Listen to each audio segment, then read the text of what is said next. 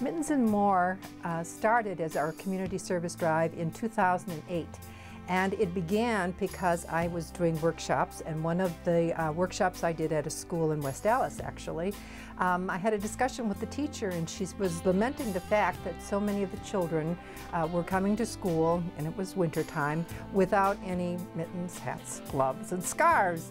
And she said that the teachers had been taking their own money to buy these things for the children. I thought, well, you know, teachers shouldn't have to do that. We could do that. And so from that point on, we started working on organization of Mittens and More. Mittens and More starts collecting October 8th through the 26th, and distribution happens in early November. Darylene explains just exactly where these mittens go. Uh, the mittens, uh, hats, gloves, and scarves that we receive um, go to selected agencies. There are 36 agencies that receive these donated items and they are responsible for selecting the families and the people who are most in need of those items.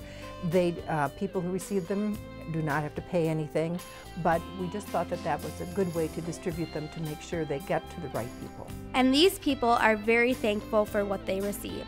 We get the most wonderful letters, not only from those who receive the mittens and other items, but also um, from those who donate. Uh, there was a lady who had uh, wanted to know where she could send her donation this year because she mails hers in. And so I told her, and then I said, and what's your name? Because we'd like to thank you on air, and we would like to send you a certificate and things like that. Said, oh, no, no, no, I don't want anything like that. She said, I think the best gift is the one that you give to a stranger, and the stranger never knows who receives it. If you have mittens that you would like to donate, there are a few places you can drop them off. We have some drop-off sites which people can access by going to the website at mptv.org and then click on Kids and Family. Um, and we have, um, we have MATC obviously participating all the campuses and we have um, the auction site available for drop-off. We have Country Springs Hotels um, in Pewaukee and also Copacetic, which has two locations in Racine and Waukesha. So we, we do have different sites available and people who are very enthusiastic and, and very helpful.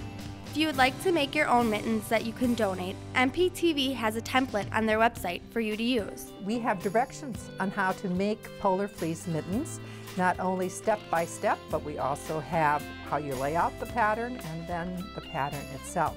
So people who would like to take this on as a project for a Girl Scout troop, for instance, or 4-H, and we do have a lot of 4-H and Girl Scout groups that participate, this would be a fun way to get the, the children involved. Students around campus are already planning on donating this year. I think this is really great that MPTV is giving the opportunity to donate, so I'm more than excited to donate.